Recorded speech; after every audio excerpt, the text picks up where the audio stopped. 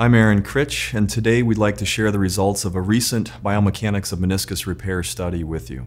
So our mission, should we choose to accept it, is to preserve the meniscus. And I think previously we didn't have a lot of options as a surgeon in terms of approaching our meniscus repair. But in 2022, there's been an explosion of options. So there's all inside devices with PEEK implants on the market. There's also all suture, all inside devices like the FiberStitch. And then for inside out, we have options using the 2.0 FiberWire as well as the mini suture tape. So the question for me as a surgeon is how do I decide what to use? So certainly there are tear factors that we can't control, such as the location, the size, and the configuration of the tear.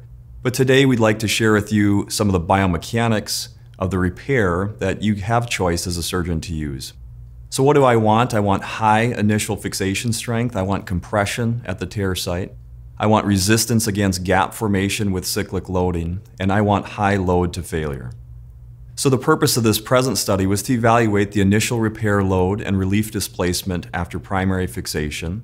We then looked at gap behavior during cyclic loading, and finally, ultimate load and stiffness during failure testing. So we created a vertical longitudinal tear to be a clinically relevant testing situation, 3 millimeters from the meniscocapsular junction. I think we'd all agree that this is a meniscus repair that's worth performing. So this was a robust cadaveric study with 60 human menisci in six groups, so 10 specimens in each group. And we randomized to all inside versus inside out. And you can see in the all inside group, we used three different groups of PEEK anchors, 10 in each group. We then used a soft anchor with the FiberStitch, And then for the inside out group, both 2.0 FiberWire as well as mini suture tape. So we created the vertical longitudinal tear, we then placed a vertical mattress suture, and then we completed the tear and loaded it into the clamps. And then for loading, we had the worst case scenario, so perpendicular loading to our repair site. This is how we assessed overall loading in the study. So each construct was standardized to 50 newtons of force with initial intraoperative tensioning. We then looked at the initial repair tension, so we saw the relaxation and measured the exact repair tension at time zero. We then looked at relief displacement, that's the change in length between point B and C. Once we had the initial strength of the repair, we then performed cyclic loading. We really wanted to look at how this responded with a knee undergoing physical therapy. So we looked at gapping and stiffness at cycle 5 as well as cycle 500 overall for the knee.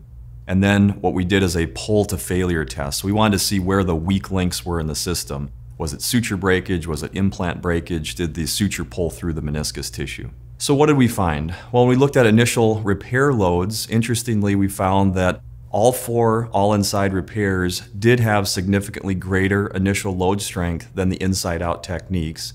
When we looked at the all-inside repairs, the all-suture FiberStitch had significantly greater initial load than the three PEEK constructs. What about gap behavior during cyclic loading? Well here, uh, when you look at the load displacement curves, you can see in the dark lines are the soft anchor with the FiberStitch compared to the three PEEK anchor constructs.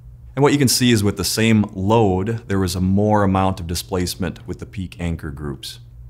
When we look specifically at load displacement progression, particularly gap formation, we found that the gap formation was the smallest for the FiberStitch compared to all the other constructs. What about ultimate load and stiffness during failure testing? Well, here we found that two constructs performed superior to the others. The first was the inside out mini suture tape, and then the second was the all inside soft suture with the FiberStitch. And here the FiberStitch was statistically the superior construct for ultimate stiffness compared to all the others. From this study, we saw that there were certainly reduced loads of inside-out knot tying compared to all-inside techniques.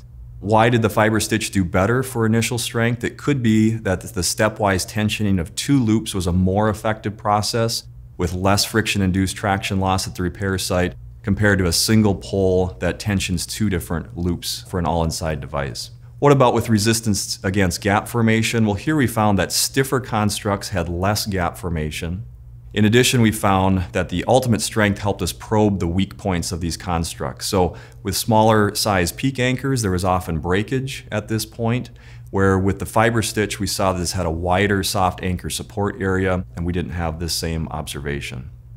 So certainly there are limitations to the current cadaveric study. First was that the mean age of the cadavers was a little bit older than a patient you typically perform a meniscus repair. We did apply tensile load in the worst case scenario perpendicular to the repair site, and then we only tested a single tear type or suture configuration. So for me as a surgeon, there are certainly advantages to choose all-inside FiberStitch meniscus repair. One is that it had the highest initial fixation strength. We want compression across the repair site. Second is it had the best resistance against gap formation with cyclic loading. It's hard for those cells to jump gaps to heal. And then finally had the highest stiffness and a high ultimate load to failure. Thank you very much.